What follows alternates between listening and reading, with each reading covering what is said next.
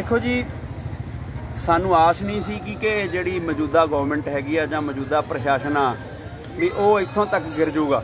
ਕਿਉਂਕਿ ਇਹਨਾਂ ਨੇ ਬੜੇ ਵੱਡੇ ਵੱਡੇ ਦਾਅਵੇ, ਵੱਡੇ ਵੱਡੇ ਬੋਰਡ, ਵੱਡੀਆਂ ਵੱਡੀਆਂ ਖਬਰਾਂ ਲਾ ਕੇ ਕਿਹਾ ਸੀ ਕਿ ਗੁਰੂ ਨਾਨਕ ਸਾਹਿਬ ਮਹਾਰਾਜ ਦੇ 550 ਸਾਲਾ ਅਸੀਂ ਧੂਮਧਾਮ ਨਾਲ ਮਨਾਉਣੇ ਆ। ਤੇ ਜਦੋਂ ਇਹਨਾਂ ਦੀ ਜਿਹੜੀ ਕਮਜ਼ੋਰੀ ਆ, ਉਹਨੂੰ ਭਾਈ ਲਖਵੀਰ ਸਿੰਘ ਮਾਲਮ ਸਮੁੱਚੇ ਜਥੇ ਨੇ, ਸਮੁੱਚੀ ਸੰਗਤ ਨੇ ਸਾਹਮਣੇ ਲਿਆਂਦਾ ਕਿ ਤੁਸੀਂ ਕੀ ਕੀਤਾ 550 ਸਾਲਾਂ ਵਿੱਚ।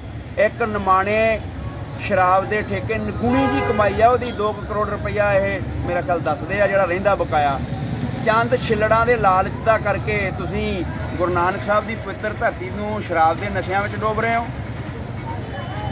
ਨਸ਼ਾ, ਬੀੜੀਆਂ, ਤੰਬਾਕੂ, ਮੀਟ, ਸ਼ਰਾਬ ਤੇ ਫਿਰ 2006 ਵਿੱਚ ਆਪੇ ਤੁਸੀਂ ਆਰਡੀਨੈਂਸ ਜਾਰੀ ਕਰਦੇ ਹੋ ਤੇ ਇੱਥੋਂ ਅੱਜ ਦੀ ਜਿਹੜੀ ਰਾਤ ਦੀ ਇਹਨਾਂ ਦੀ ਬਖਲਾੜ ਦੀ ਕਾਰਵਾਈ ਆ ਉਦੋਂ ਇਹ ਪਤਾ ਲੱਗਿਆ ਕਿ ਲਖਵੀਰ ਸਿੰਘ ਮਹਾਲਮ ਦੀ ਜਿੱਤ ਹੋਈ ਆ। ਸਰਕਾਰ ਹਾਰੀ ਹੈ। ਸਰਕਾਰ ਹਾਰੀ ਹੈ, ਸਰਕਾਰ ਦੇ ਪ੍ਰਸ਼ਾਸਨ ਨੇ ਇੱਕ ਸਿੱਖ ਦੀ ਅਰਦਾਸ ਨੂੰ ਤੋੜਨ ਦਾ ਜਿਹੜਾ ਅਪਰਾਧ ਕੀਤਾ ਆ, ਉਹਦੀ ਸਜ਼ਾ ਗੁਰੂ ਨਾਨਕ ਦੇ ਘਰੋਂ ਇਹਨਾਂ ਨੂੰ ਜ਼ਰੂਰ ਮਿਲੂਗੀ।